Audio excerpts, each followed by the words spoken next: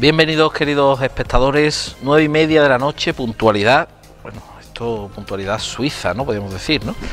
Total, en directo, eh, esta noche en Canal Sierra de Cádiz vamos a dar el pistoletazo de salida, bueno, ya llevamos hablando de campaña electoral, de pre-campaña, de candidatura, mucho tiempo, pero esta noche llegan nuestros tan esperados debates que hemos tenido que reorganizar todo y finalmente hemos buscado el hueco para que hasta en ocho municipios de la comarca de la Sierra de Cádiz vamos a tener un debate en directo. Lo hemos intentado en 11, ha habido tres municipios que se nos han caído al final por, porque no había interés de que debatiéramos los mismos, ya lo, he comentado en redes sociales, incluso no tengo ningún problema en decirlo aquí, Espera, eh, Grazalema eh, y Puerto Serrano, donde queríamos hacer debates, pero en espera solo el candidato de Andalucía por sí quería venir al debate, en Grazalema solo el candidato del PSOE y eh, en Puerto Serrano solo el candidato de Izquierda Unida. Un debate de uno no tenía mucho sentido, así que finalmente pues hemos optado por no hacer debate en esos municipios, lógicamente, eh, por incomparecencia, podríamos decirlo, ¿no?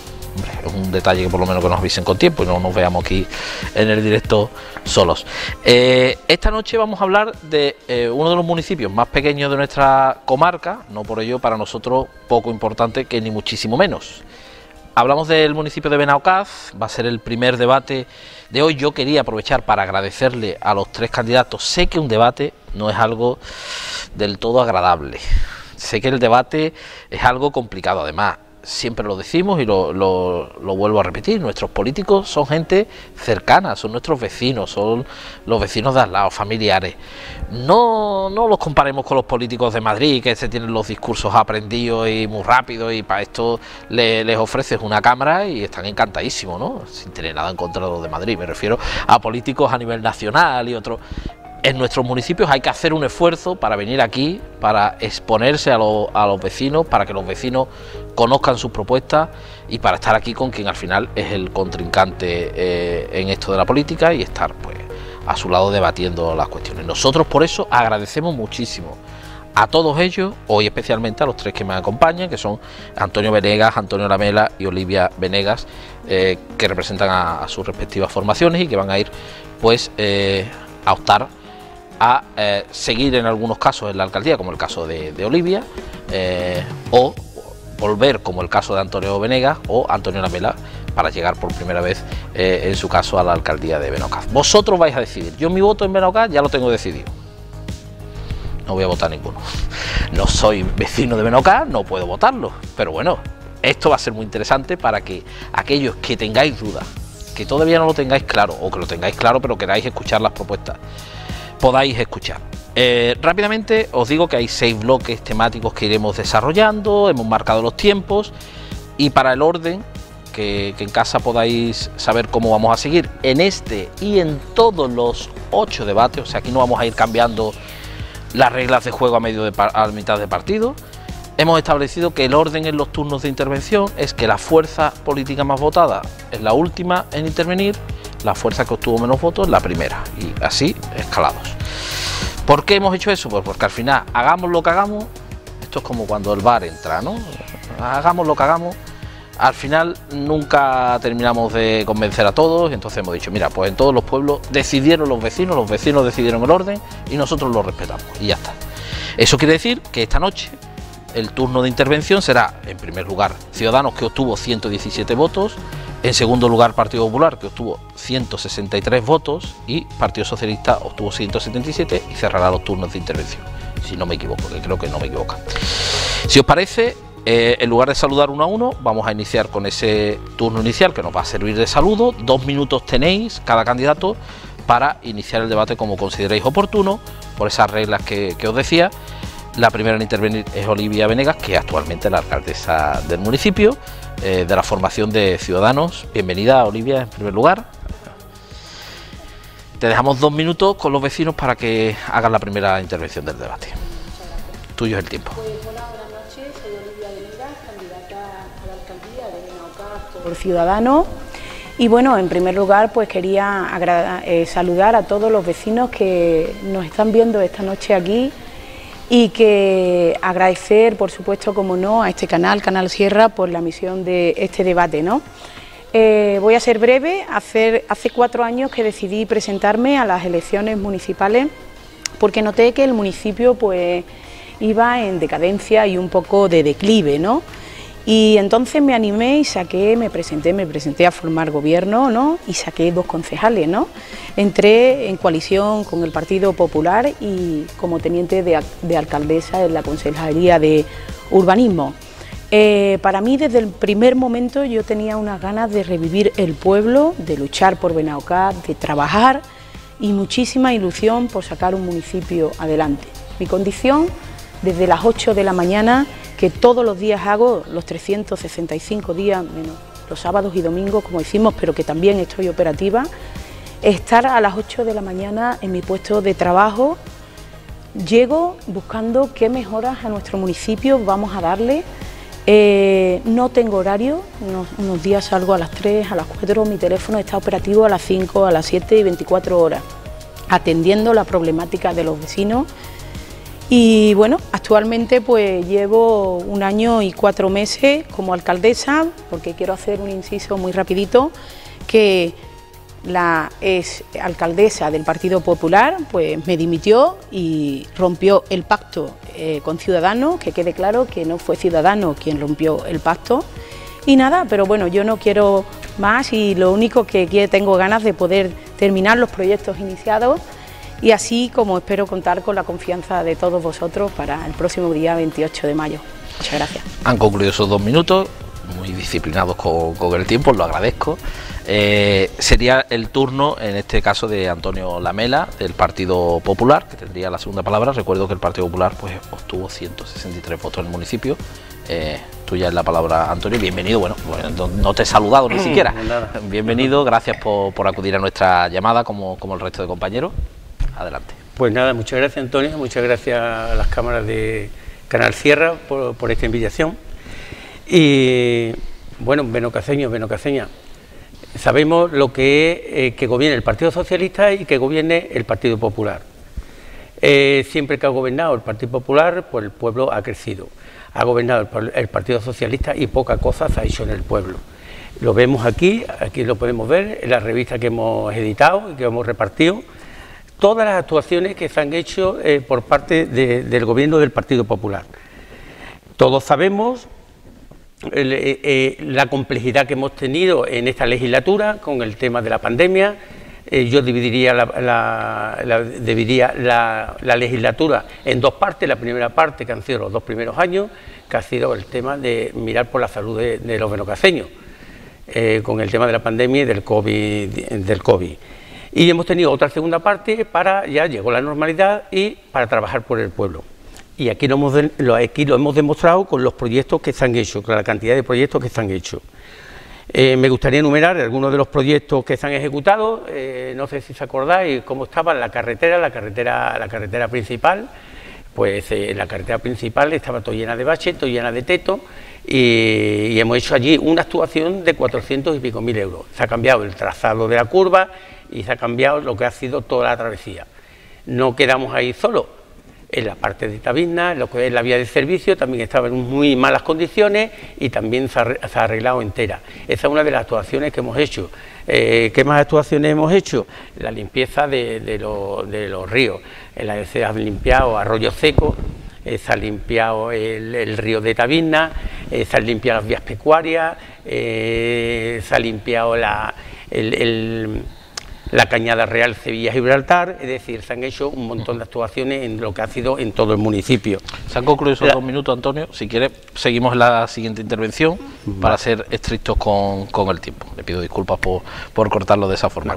Eh, Antonio Menegas, suya es la palabra, bienvenido de nuevo y gracias como al resto de compañeros por habernos acompañado. Pues nada, pues buenas noches a todos y a todas. Yo, como todos me conocéis, soy Antonio Vanega y me presento por a la candidatura de la alcaldía de, de por el Partido Socialista Obrero Español. Y en principio agradecer al equipo de Canal Sierra por la cobertura que, nos da en la comarca a los pueblos pequeños porque es un altavoz y una propaganda que, está bastante bien porque nosotros no tenemos medios para, ello. Y también agradecer la oportunidad que nos da para exponer nuestro programa electoral en pleno directo y que los vecinos tengan la oportunidad de, vernos. Nosotros exponemos un programa de, progreso y un programa real de ejecutar, para ejecutar, para darle a Benocá el lugar que se merece y que ha perdido en, estos cuatro años. Con un grupo de personas que están dispuestos a trabajar por el bienestar y, por las necesidades de nuestro pueblo. Nuestro pueblo y Tabirna ahora mismo tienen bastantes carencias y hay que hacer un trabajo arduo estas personas son nuevas, tienen nuevas ideas, ideas frescas, que, harán que olvidemos estos cuatro años de trámite y, con ello, pues realmente, afortunadamente, están llegando a, su fin. Sí quería matizar que con la llegada de, Antonio Venegas y su equipo al ayuntamiento, pues volverá a venocar la honestidad y la honradez a su ayuntamiento. Gracias. Le quedaban 30 segundos más. Eh, os agradezco que, os ciñáis al tiempo y os pido disculpas en el momento que os tengo que cortar a todos. Eh, vamos a iniciar el primer bloque de contenidos, podríamos llamarlo así. Les recuerdo a los participantes que son bloques orientativos y que realmente lo que prima y lo que debe de primar en todo el debate es la libertad de que os expreséis como queráis en cualquier momento y que habléis lo que consideréis oportuno. O sea que si queréis retomar temas en otro tema, sois totalmente libre para ello. Eh, la dinámica, tres minutos de intervención por, por cada uno, después hacemos una segunda ronda sobre el mismo tema con dos minutos más. Hablamos de políticas sociales, sanidad, educación. Olivia Venegas tiene la palabra, tres minutos iniciales. Estupendo. Pues en este bloque de políticas sociales, pues quiero eh, diferenciar pues tres partes eh, muy diferentes. Las políticas sociales que sí tienen una gran intervención en este ayuntamiento y con mucha más profundidad y respecto a la sanidad y a la educación pues no son competencias directas de nuestro ayuntamiento. Pero ahora seguiremos hablando de ello. En el tema de políticas sociales sí afirmo que a día de hoy en nuestro municipio no existe ninguna, eh, eh, no existe ninguna persona con necesidades esenciales que este ayuntamiento tengan conocimiento. O sea, tenemos unos servicios sociales con un gran funcionamiento. Yo quiero recordar así brevemente el 14 de marzo, cuando el Gobierno central decretó el estado de alarma. ¿no? Ese mismo lunes por la mañana, día 16, un día muy desagradable para todos con aquella pandemia que nos llegó, eh, a las 8 y 5 se creó la primera oficina de emergencia social en nuestros asuntos sociales y automáticamente a raíz de ahí empezamos a llamar a cada vecino y a cada usuario para ver en qué estado se encontraban, si tenían alguna necesidad de alguna medicación, alguna alimentación.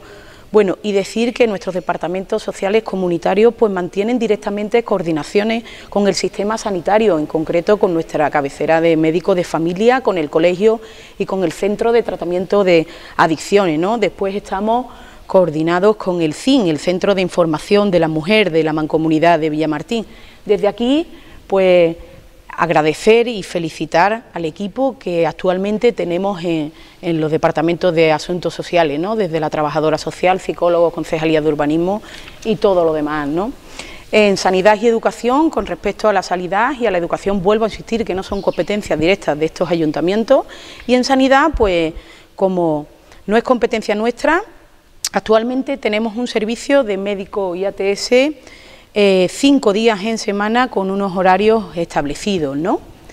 Eh, en educación el ayuntamiento tiene unos compromisos muy claros que establece por ley basado pues, en la limpieza, en el mantenimiento y, si por supuesto hay alguna reparación de algún desperfecto, pues siempre estamos ahí en plena comunicación con ellos, con rapidez y eficacia, lo solucionamos. Este año se han puesto las cancelas nuevas en el túnel, se ha desbrozado, hace, eh, eh, hemos, hemos ampliado las arquetas porque se inundaban para que los peques cuando lleguen a nuestro cole pues no tengan problemas. Y también quiero hacer un, un recordatorio, pues que hace poco, unos meses, estuvimos con la delegación competente de la Junta de Andalucía reunido en educación para transmitirle eh, la problemática bueno, de, de, nuestro centro colegio público Abardela para decirle eh, que, el colegio tiene ya unos años y que hay normativas en las ventanas y demás que no se cumplen, que por ello nos tienen que ayudar y, comprometerse con nuestro colegio público. Mm, a cuadrar los tres minutos, Olivia.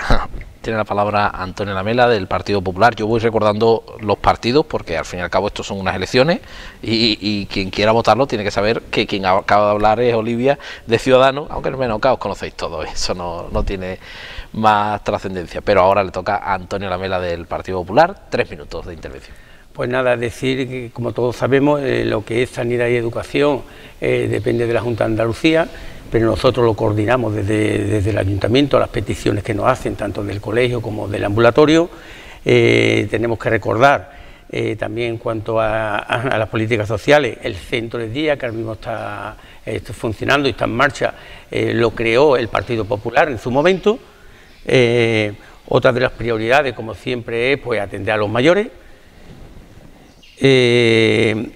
Quiero recordar que desde lo que fue el, colegio eh, nos pidieron el arreglo de las pistas, arreglaron las pistas y otra de, las, prioridades que tenemos pues es eso, que funcionen bien los, los, servicios sociales.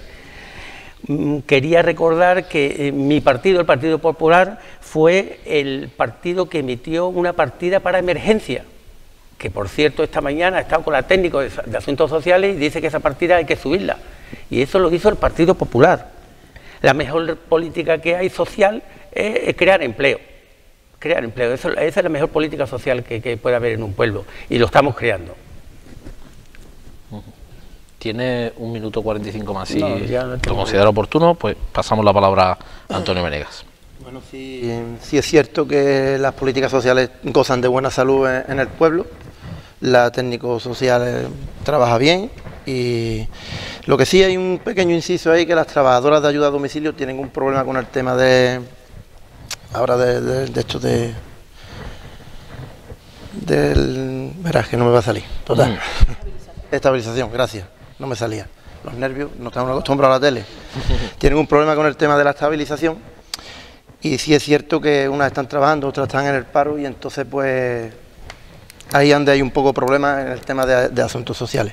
Veo que recuerdan ustedes mucho la pandemia, se apoyan en la pandemia, mm, recurrieron mucho. Yo quiero recordar también, también recordar a ustedes, señora alcaldesa, las fiestas privadas que hacía cuando se estaba muriendo la gente miles, hacía en su casa y hacía por ahí. Eso también eh, lo sabe todo el pueblo. No se escuden tanto en, en eso y recuerde que usted está para dar ejemplo y no para hacer esas cosas.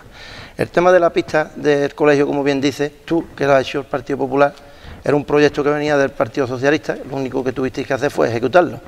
Pero bueno, también sois por ponerse medallas que no son vuestras, como el de la carretera, que era un proyecto de 2018 de la Junta de Andalucía y no del Partido Popular. Que si es un proyecto que había hecho ustedes, yo creo que quitar una curva para poner otra, cuando el problema allí es el cambio de rasante. Teníais que haber puesto realmente arreglar el problema de, la carretera. Pero aparte de todo eso, yo creo que, que lo que necesita son políticas justas y equitativas a nivel social y no y no de, colocación a deo de familiares de concejales, de poner uno aquí, el otro allí, todo el mundo trabaja un mes, otros trabajan, los familiares de ustedes trabajan seis meses, otros colocan un año. Y en fin, yo creo que hay que repartir más el trabajo, porque todo el mundo tiene derecho a trabajar y no hacer del ayuntamiento un cortillo. Gracias. Tiene la palabra Olivia Venegas en este segundo turno, dos minutos. Bueno, lo que el compañero Venegas se refiere al tema de estabilización, que sepamos que yo voy a ser muy breve.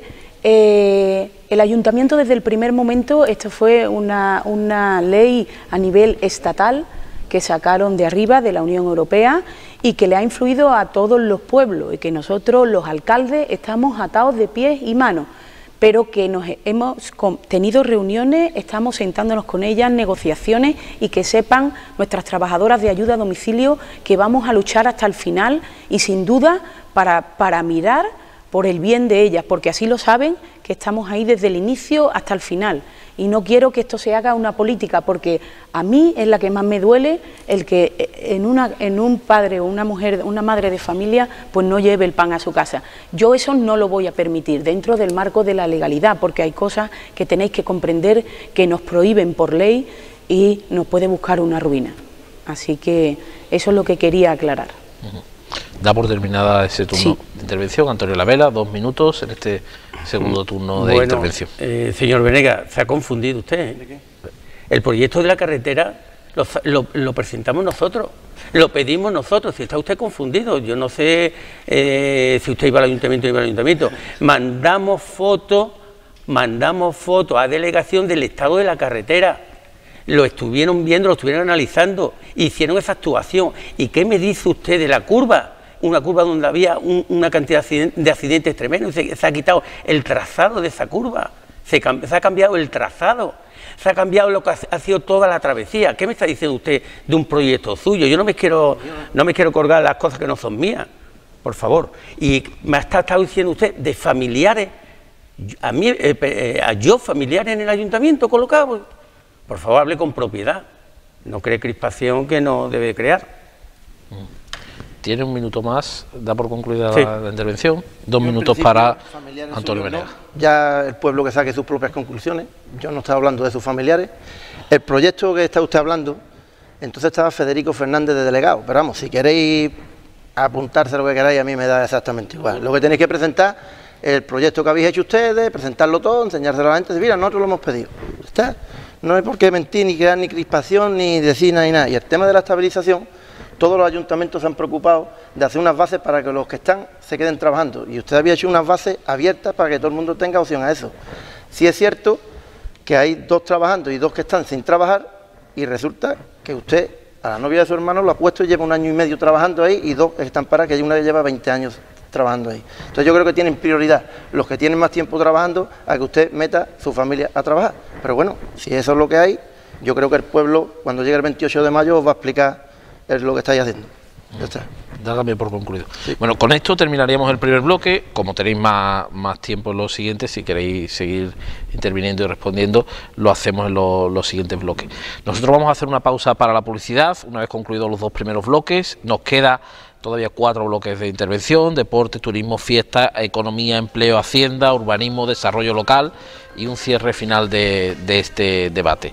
Si os parece eso, unos minutitos, volvemos enseguida, ah, seguimos hablando aquí de Benaocaz en directo eh, en este primer debate electoral de Canal Sierra de Cádiz. Hasta ahora.